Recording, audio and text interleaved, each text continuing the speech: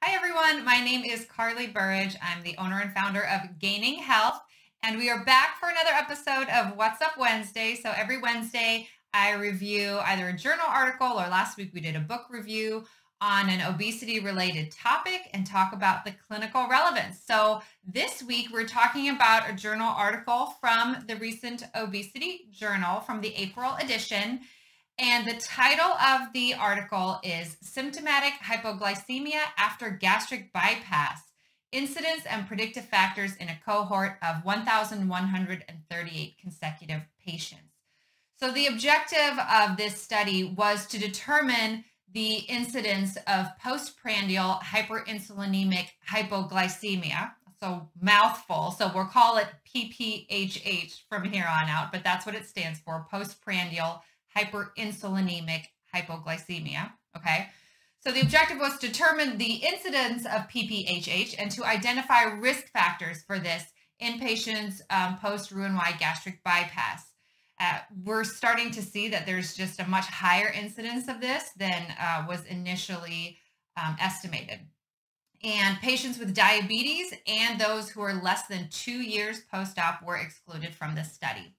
And what they found was that 32.6% of um, the patients in this cohort had moderate PPHH, and 11.6% of these patients post Roux-en-Y gastric bypass had severe PPHH, which is defined as having those neuroglycemic symptoms, which are more dangerous and can result in trauma and falls and potentially even death. So, what they found was that a total of 44.2% of these patients at least two years post Roux-en-Y gastric bypass had either moderate or severe postprandial hyperinsulinemic hypoglycemia. So let's talk a little bit about PPHH and why it occurs.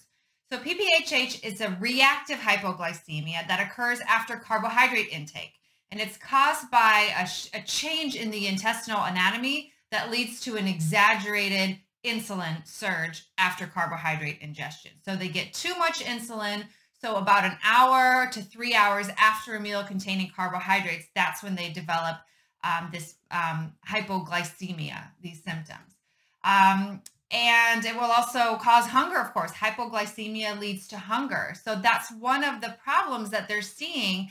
And uh, one thing that other studies have looked at is that patients who experience this is actually a risk factor for weight regain because it can lead to frequent snacking and hunger and urges and sometimes even that grazing behavior that we often see after Roux-en-Y gastric bypass. And oftentimes the patients just blame for maladaptive eating, but this gives us a little bit more insight that this could actually be due to the fact that they're experiencing these postprandial hyperinsulinemic hypoglycemia type symptoms. And it's also important to recognize that it's different from dumping syndrome or early PPHH, which typically occurs about 30 minutes after meal. And that's the result of the rapid emptying of food, particularly carbohydrates, sugars, and, and starchy foods, into the small intestines. And so that triggers a rapid fluid shift into the intestines to dilute those contents.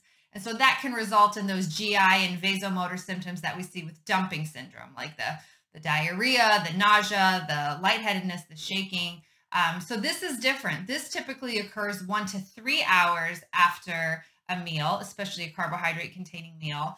And it typically presents at least one year or longer after Roux-en-Y gastric bypass. So again, why is this important? Because it's associated with weight regain, because it's associated um, with symptoms and a lower quality of life and because we're seeing that it's such a high incidence of this, this is something that we really um, need to be evaluating our patients for.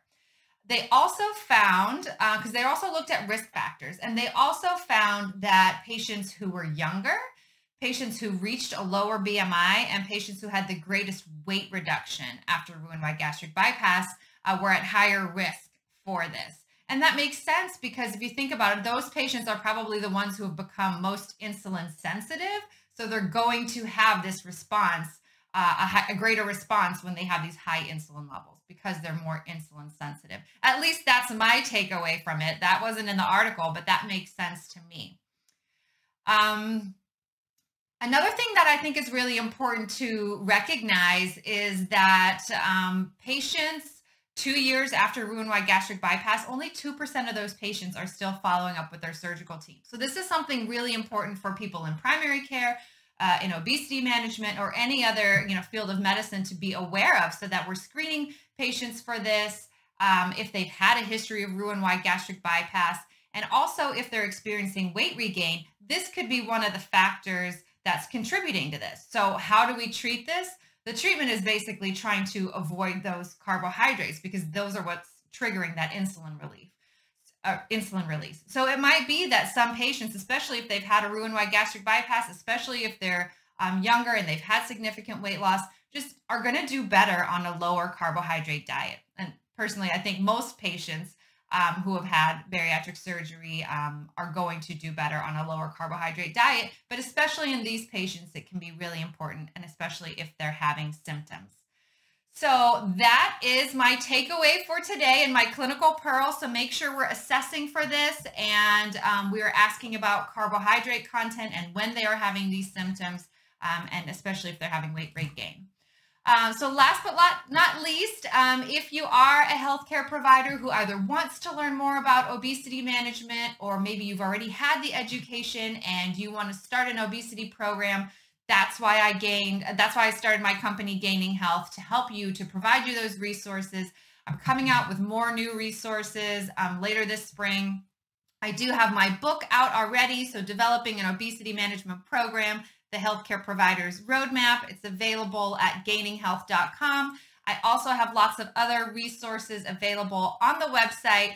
So please subscribe to the website to stay up to date on all of the new content that we have coming out, including patient education material. And I hope to see you all next week for another episode of What's Up Wednesday. Take care.